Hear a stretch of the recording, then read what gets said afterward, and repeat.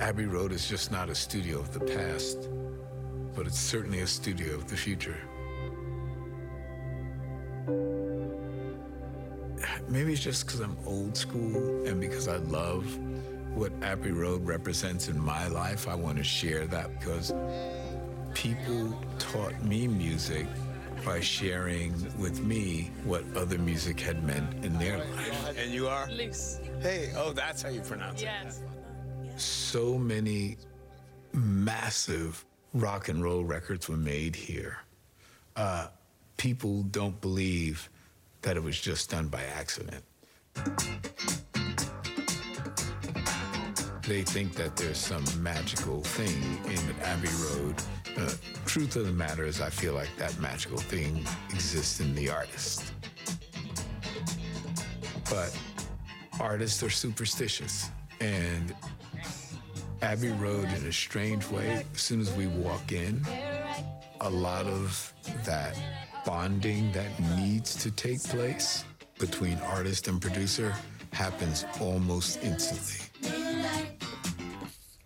That is a scene from the new documentary entitled If These Walls Could Sing, premiering next Friday on Disney Plus. The film explores the storied history of the world's most famous recording studio. Abbey Road. And joining us now, someone with a very personal connection to Abbey Road, the film's director, Mary McCartney. It's great to have you back in the show and to see you on per- in person. I know. Good morning. good morning. Good morning. So, if these walls could sing, what's the answer to that question? I mean, nobody knows, and Abbey Road has been part of your life for as Yeah. long as you can remember. So, you have such special insight. And yeah, exactly. When I was approached to direct this documentary, um, I, w- I messaged my um, the woman that looks after my mum's archive and said, "Are there any pictures of me at Abbey Road as a kid?" You're like, are there? And she texted me back immediately with this picture of me as like a three-month-old baby on a blanket on the floor in the studio. And I was like, should I do this documentary? Is it too close to home? And then when I saw that picture, I was like, of course I'm going to do it. It's like so I've grown the, up there. The photo was the inspiration. It was that, and then the other inspiration was a picture I'd seen with, of my mum leading a pony called Jet across the zebra crossing, which I saw in the Abbey Road book like years before. So I was like, I need to do it. Wow. And also, I didn't know it, it was 90 years old, and I did not know any of the history. So, So tell us about the experience of this documentary. If these walls could sing, what's the answer to the question? The answer to the question is it's an amazing special place. It's, it's really busy still to this day. What was quite funny is when I was filming the interviews, it was hard to get space to do the filming in the studios because it's so busy still. So um, the, the answer is yes, it's a magical place. It has this sort of spiritual, artisticness to it. And I think watching the documentary, a lot of people don't get the chance to go there. They go to the zebra crossing and there's like a pilgrimage to go there. And it means so much to so many people. But in doing the documentary, by the end of it, I think you have a feeling that you've been inside and you get the atmosphere and you understand why it means so much and, You it, know and what- creates so much. When Mary says zebra, she's referring to zebras. Zebra. Just, just for, for anybody who's um, cute. for anybody who speaks So the. American the American version of the English language. Um, I'm with I I'm can with I- zebra. I can prefer I say zebra. something Yeah, though? I sure. learned my. I think I learned my alphabet through uh, the Muppets. Yeah. So when I was a Oh, kid, I used I to say the A B, and then I said Z, and my dad would say it's Z.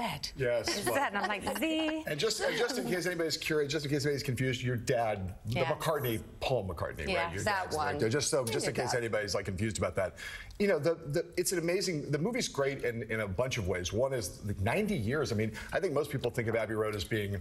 They started with the Beatles, Yeah. you know, which obviously is a big part of the movie. But you go back to 1931 and, and talk about this that this studio has been arguably the best studio in the world for almost a century, which is sort of mind blowing. Yeah, I mean, I really learned it's the people that work there, the, te- the technicians, the producers, and it's got a real family atmosphere. And what I learned was that they really do look after the artists, so they facilitate whatever they need. They don't give you a hard time. They're not a buzzkill. They're kind of like, we're here. We're going to make the best music we can, and it's still the same today. And they haven't changed. Yeah. Studio One and Studio Two are the same, so they haven't messed with it. So you still get that experience. There's a great, I mean, look, there, we saw Nile Rodgers a minute ago. There, you go through this, you get to see, you know, Jimmy Page uh, when he was a session musician, and and uh, and Elton John when he's first like getting paid to play the piano for people. Yeah, but you, but your dad and the Beatles run through the heart of it, right? And I guess I'm curious about about you know watching the various beats of it. You know, the creation of Sergeant Pepper, the you know your dad tapping his foot while he plays Blackbird. You know, and how that mm. got picked up by the mics in the studio. You know, d- you spent a lot of time talking to him and, and mm. doing the interviews. Did you were there things that you learned from your that you Yeah. did not know? What were the things that mm. your dad, as you talked through it, that you learned for the first time? Well, I learned things like the thing about Abbey Road Studios is they have a lot of things lying around. So the pianos, like the famous piano on Lady Madonna, is called Mrs. Mills piano because it was just in Studio 2 because there's a woman called Mrs. Mills who used to do um, her albums there. So they were like doing it and they're like, so a lot of things that just were hanging around in Abbey Road worked their way onto some of the Beatles tracks, Yeah. which I didn't know any of that. yeah. So As we a- have another scene from the documentary Oh, that we want to show our viewers, where you actually talk about why Abbey Road, uh, the studio, holds such a special place in your heart. My name is Mary.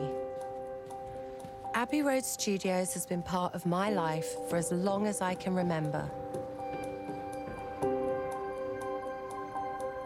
Every time I walk through these corridors, it feels magical.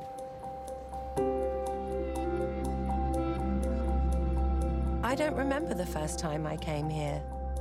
This is me in Studio 2, a photograph taken by my mum, who was a photographer and was in a band with my dad.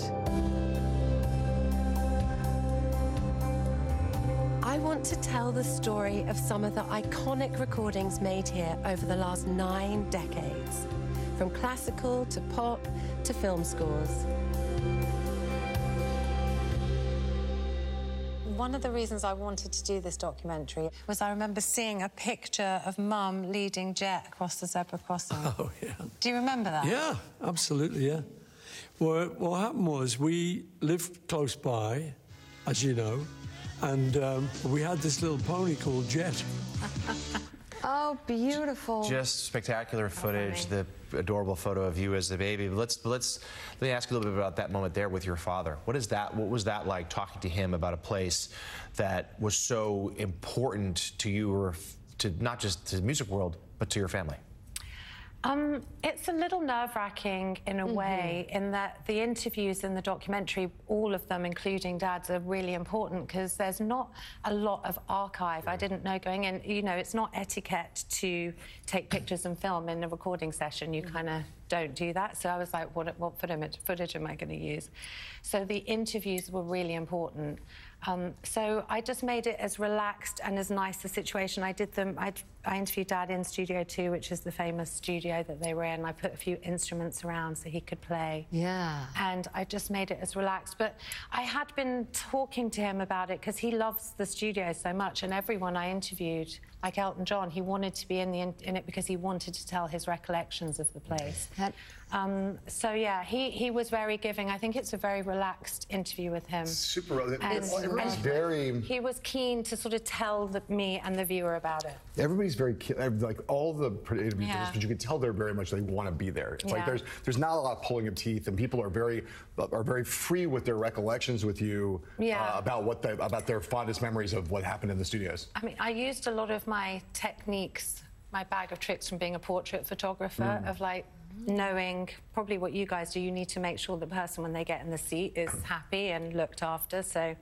nicely lit. And, you know, I kind of tried to make it so that you feel relaxed when you sit down. and It's also a beautiful interaction between father and daughter, which I've, I've interviewed my dad, and it didn't go mm. as well, actually. it didn't. It didn't. I've interviewed him before and it hasn't gone as well. Okay, I well- was like, please let it, pl- please, Please let make it go well. Yeah. he I mean, showed it up for depends you. what mood you're in on the day. I know, everything. but it's daunting to interview. I mean, I at least Jordan, I'm, I can't even talk now. I'm thinking Also, about it. he's I want to go back and watch it. Yeah, I can say that tomorrow. It is. It's nerve wracking, and it, um, and in the sense that he's been photographed and filmed by Right. all of the most major Exactly. photographers Well, and then directors someone in the world. like Elton John too. Yeah. And you said he was revealing. What did you learn from sitting down with him? Well, uh, I wanted to show in the documentary session musicians, and then going through the session um, log, we found that Jimmy Page and, and Elton John, Reginald Dwight, as he was then, were session musicians. And so uh, Yes, there's, we actually managed to get the tapes. You can isolate his. You know that song "He Ain't Heavy." Yeah. It's a, yeah. So basically, we can isolate his his key, his piano in it, and you can totally tell that it's Elton John playing.